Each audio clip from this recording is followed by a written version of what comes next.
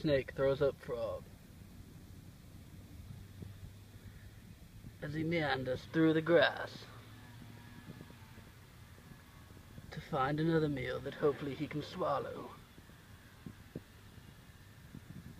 Until next time on Paul's Adventures.